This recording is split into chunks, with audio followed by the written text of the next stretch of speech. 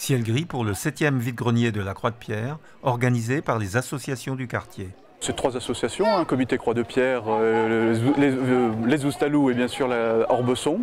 L'organisation c'est principalement le, comité directeur euh, d'Orbesson, nous sommes quatre, hein. donc euh, voilà, quatre personnes, 5 à 6 en renfort. Et le jour même, bon, ben, on a les, les, gens qui font partie de l'association donnent toujours un coup de main. Hein.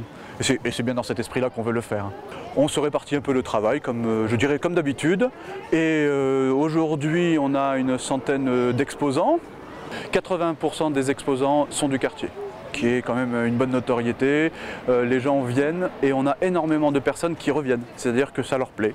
Hein, on essaie quand même d'apporter ce côté euh, convivial hein, à cette manifestation. Bien sûr, euh, le café euh, est toujours offert et l'apéritif est toujours offert aux, exposants. Hein. donc ça, c'est une sacrée organisation. donc voilà, donc quand vous arrivez pour exposer, vous savez que vous avez votre petit café à 8 heures. ça permet de prendre la bonne journée. Et ensuite, le petit apéritif en milieu de journée qui permet quand même d'avoir une personne qui pense à vous. Parce que quand vous êtes seul sur votre stand, c'est pas toujours facile. Les idées ne manque pas pour améliorer l'accueil des visiteurs et des exposants avec toilettes sèches.